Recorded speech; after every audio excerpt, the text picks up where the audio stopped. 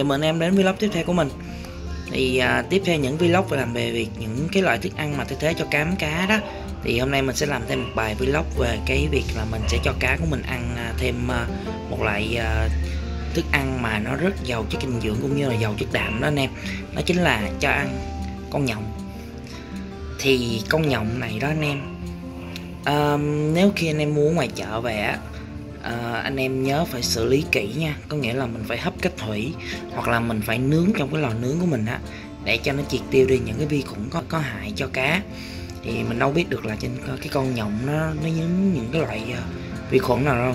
Cho nên là để uh, tránh những trường hợp mà không may xảy ra đó thì anh em nhớ xử lý kỹ nha. Mình rửa rồi mình hấp cách thủy rồi hoặc là mình nướng đều được thì cái giá con nhộng này á, mình mua ngoài chợ là giá nó chỉ khoảng ờ, 8 đến 10 ngàn một lạng thôi. Tính ra là nó còn rẻ hơn một ký cám của mình cho cá ăn đó anh em. Nhưng mà anh em chú ý là đừng có lạm dụng nha. À, mỗi tuần mình chỉ cho cá ăn khoảng một lần thôi. Để coi như là đó là thực phẩm bổ sung chứ không phải là thay thế hoàn toàn cho cám. Hoặc là anh em có thể dùng những loại này anh em để chống cháy những lúc mà mình hết cám cũng được nhưng mà anh em nhớ là mình phải thay đổi thường xuyên giữa những loại thực phẩm với nhau chứ không cho ăn thuần một cái nào hết. Ví dụ như là anh em có thể cho ăn cơm nè cho ăn à, nhộng nè cho ăn trái cây hoặc là rau xanh đều được. Nhưng mà trong khoảng thời gian ngắn thôi nha anh em anh em nhớ nha đừng có làm dụng nó trong thời gian dài à, rất là có hại nha. Thì à, anh em mình có chung mình anh em mình có chuẩn bị sẵn một một chén rồi nè. Đó một chén hôm nay là một lạng anh em một lạng cũng nhiều ghê thì à, cách thức cho ăn thì sau khi anh em đã um, hấp hoặc là anh em uh, nướng rồi á thì mình để một chút cho nó nguội. Tại vì uh, con cái này đi mà nó còn nóng con cá nó nuốt luôn con, con nhộng vào bụng nó luôn. Cho nên là khi nó còn nóng vô chế bao tử á hoặc với ruột cá đó nó sẽ gây ra hiện tượng phỏng bên trong. Nên là chắc ăn anh em nhớ để cho nó nguội hẳn rồi anh em mới cho cá ăn nha um, ở trong cái con nhộng này nè anh em nó có khoảng 70% là đạm. Thì mình mua cám á thì mình chú ý đến cái phần mà cái uh, cái lượng đạm trong cám. Thì mình số loại cám nó có lượng đạm đến 45% thì đạm càng cao thì con cá nó sẽ càng lớn nhanh. Nhưng mà bên cạnh nó sẽ gây ra hiện tượng nó lớn quá nhanh nó sẽ gây ra cái hiện tượng là con cá nó bị uh, bị hư cái body có nghĩa là hư cái khung cá cũng như là nó bị xệ bụng á. Cho nên là mình cũng khuyến cáo anh em nè cho ăn nhưng mà hạn chế thôi. À, lúc đầu mà anh em cho cho cá ăn á thì có thể nó sẽ nó sẽ phun ra. Nó nó nó phun ra thì anh em đừng có lo lắng về vấn đề đó. Thì em cho ăn một lần hai lần rồi đến lần thứ ba nó cũng sẽ quen thôi. Anh em đừng có lo ha. Thì bây giờ cứ cho thì mình cứ thả xuống thôi nhớ nha, đừng để này nó trôi vào cái cái cái à, hút mặt nha. Rất là phí, cho nên là cho từ từ thôi. Thì cứ thả xuống ngoài. Là chạy chí nó lên, nó ăn à.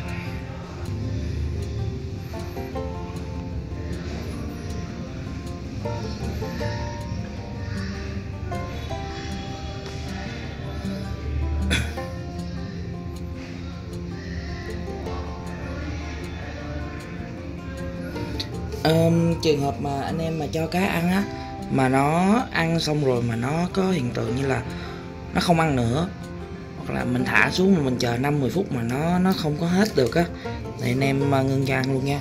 Tại vì trường hợp đó là cá nó đã no rồi mình cứ cố ép nó ăn thì nó sẽ tạo ra hiện tượng là nước nó dơ hơn chứ cá nó cũng sẽ không hấp thu đâu. Tại vì nó không chịu ăn mà mình cứ thả đại xuống thì nó hút vô cái à, cái ngăn lọc của mình thì nó càng gây ra hiện tượng dơ nước thêm.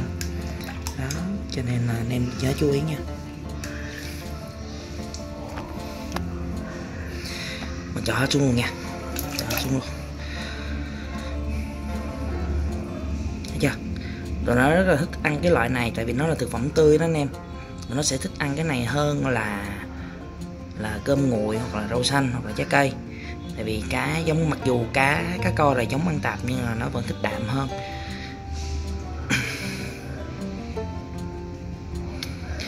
Rồi cứ để nó ăn đi ha. Um, hôm nay mình thấy trên ờ, cái kênh youtube của mình nó có một số anh em có hỏi về một số cái vấn đề về uh, về lọc nè về ánh sáng nè về ờ, uh, UV thì uh, anh em đặt câu hỏi thì mình sẽ cố gắng mình trả lời hết cho anh em nhưng mà có một số cái bài mình đã đã làm vlog về rồi á thì mỗi một cái ờ, clip mới mình lên mình sẽ đều nốt lại cái link của những bài cũ.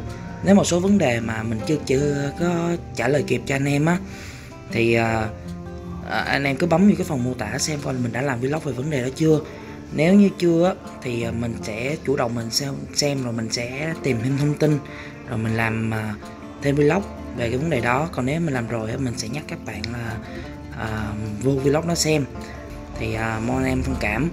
Uh, cái thứ hai đó là uh, có một số vấn đề mà anh em uh, anh em hỏi mà mình chưa kịp trả lời mình để qua mất một ngày á. Uh, anh anh em cứ cứ cứ thông thả ha tại vì chắc chắn là mình sẽ trả lời chứ chứ không có comment nào mà mình không trả lời hết trơn á. Cho nên là uh, mong anh em là cứ đặt câu hỏi cứ ờ, nêu ra vấn đề rồi ờ, mình sẽ cố gắng mình giải đáp thắc mắc cho anh em. Nếu như mình không giải đáp được thì mình sẽ sẽ cố gắng tìm thêm một vài thông tin để bổ sung vào cái cái phần kiến thức bị thiếu của mình để mình tiếp tục mình trả lời cho anh em. À, mong anh em là luôn ủng hộ co ba màu cũng như là nhớ like nhấn like subscribe cho mình để mình có thêm động lực để ra thêm những clip mới. À, những cái uh, chủ đề mà nó hấp dẫn hơn. Thì uh, thì coi như hôm nay mình kết thúc cái cái vlog này ở đây luôn nha um, ôi em coi nè nó ăn xong này nó nước rất là dơ nha. Thì uh, khi mà em cho ăn uh, nè em coi là nước dơ nè. Nó nổi ván lên nè với lại nó nổi cái uh, cái cặn bẩn lên nè. Thì anh em cho ăn, ăn nhộng anh em phải chú ý là cái bộ lọc của mình nó phải uh, nó phải gọi là đủ cái lực để nó hút những cái cặn bẩn này về cái cái cái ngăn lắng của mình nha. Chứ một số ờ, cái hồ mà có lục hút mới hơi yếu thì nó nó lâu nó lâu trong hơn gây ra hiện tượng nước dơ hơn. Thì anh em chú ý vấn đề này nha. Rồi cảm ơn em đã coi đến nhiều phút này. À, tạm biệt anh em. Bye bye, bye.